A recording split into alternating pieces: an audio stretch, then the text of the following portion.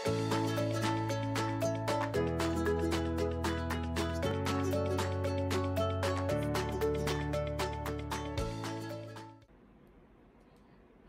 नमस्ते बच्चों मेरा नाम है चित्रांगदा और आज मैं आपको सुनाने वाली हूँ एक बहुत ही अच्छी कहानी। अम, कहानी का नाम है अक्खू हुई गुस्सा। इसको लिखा है विनायक वर्मा ने और इलास्ट्रेशन भी की है विनायक वर्मा जी ने। और इसको इसकी पब्लिकेशन हुई है प्रथम बुक्स में। सो um, so, आज की कहानी शुरू करते हैं। ये है हमारी कहानी अक्कू हुई गुस्सा।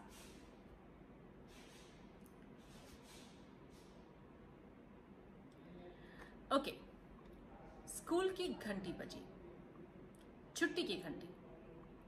सारे बच्चे खुशी से शोर मचाने लगे। बस अक्कू को छोड़कर। वो बहुत गुस्से में थी।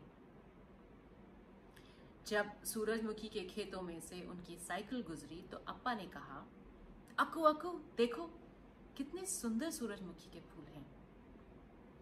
हम्म, ये बहुत ही पीले हैं। इनसे मेरी आँखें चौंधिया रही हैं। अक्कू बड़बड़ाई। अक्कू देखो देखो जरा बंदरों को तो देखो। अप्पा ने अपने घर की छत की तरफ़ इशारा करते हुए कहा। छी, बदमाश बंदर अक्कू भुनभुनाई हुर, भाग जाओ यहाँ से, भागो, हुर। लो थोड़ी सी छाछ पी लो, अप्पा बोले। इससे तुम्हें ठंडक मिलेगी। अक्कू ने मुँह बितकाया। मुझे नहीं पीनी छाछ वाछ। अरे, एक घूंट पीकर तो देखो। हाँ ठीक है, बस एक ही घूंट। अक्कू बोली और अक्कू ने एक घूंट छाछ पी ली। छाछ बिल्कुल बुरी नहीं थी। उसने एक घूंट और पिया, फिर एक और घूंट, फिर एक और और छाछ का ग्लास खाली हो गया। बड़ा खाओगी? अप्पा ने पूछा। उफ ओ अक्कू फिर से खींची।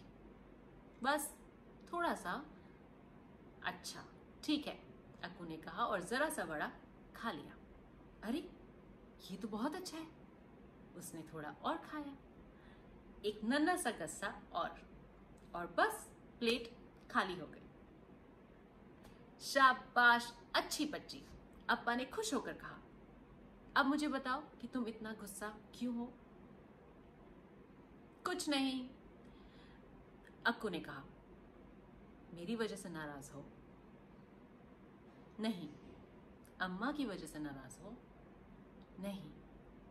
तो क्या आज स्कूल में कुछ बुरा हुआ है? पता नहीं। शायद, अक्कू ने कहा। ओहो! तुम्हारे साथ जो हुआ, क्या तुम उसके चित्र बनाना चाहोगी? अप्पा ने पूछा। ये रहे, कुछ बढ़िया से कागज़ और रंग। हम्म ठीक है। अक्कू ने कहा। अक्कू ने एक ईंट बनाई। ये है वो बेकार सी ईंट। मैं सुबह इसी से टकराकर गिर गई थी, अक्कू ने कहा। इस बेकार सी ईंट से सुबह मुझे ठोकर लगी थी। ठीक कहा तुमने, ये तो बहुत ही बेकार ईंट है, अप्पा बोले। फिर अक्कू ने एक लड़के का चित्र बनाया। ये बिक्कू है। बहुत ही बुरा लड़का है। जब मैं गिरी, तब ये मुझ पर हंसा था। अक्कू ने कहा, अरे, ये तो बहुत बुरा लड़का है, अप्पा बोले। कोई गिर जाए तो उन पर हंसना नहीं चाहिए, बुरी बात है। फिर अक्कू ने एक इडली की तस्वीर बनाई। ये मेरी इडली है, अक्कू ने बताया। जब मैं उस बेकार सी ईंट से ठोकर खाकर गिरी थी तो मेरे लंच बॉक्स से ये बाहर गिर गई। और फिर अक्कू ने एक कौआ बनाया। ये बड़ा बदमाश कौआ है। मेरी इडली लेकर उड़ गया। हम्म बेचारा बहुत भूखा रहा होगा, अप्पा ने बोला। फिर अक्कू ने अपनी टीचर की तस्वीर बनाई। ये मेरी टीचर है, अमला मिस, अक्कू ने कहा। जब मैं गिरी तो उन्होंने उठने में मेरी मदद की थी और फिर मुझे गले लगाया था। ये तो उन्होंने बहुत अच्छा किया, अप्पा बोले। हाँ पर फिर उन्होंने मेरे गाल पर चुटकी काटी।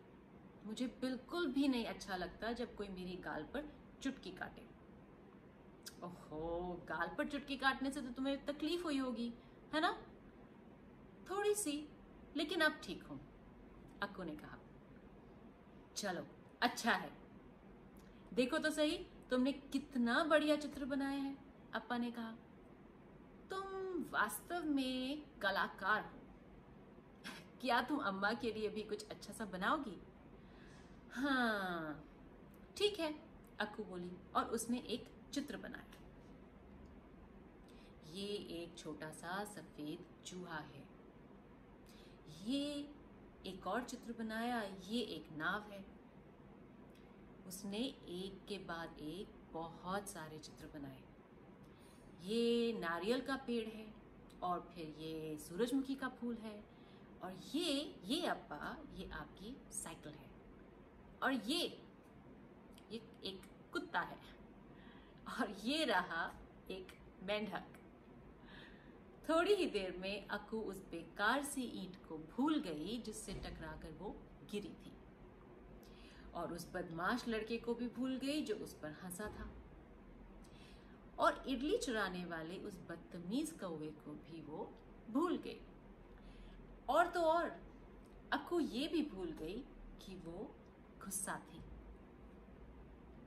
तो बच्चों हमें इस कहानी से ये पता चला कि जब हमें बहुत गुस्सा आता है और वो नाक पे आके बैठ जाता है तो उसको हम कैसे छू करें?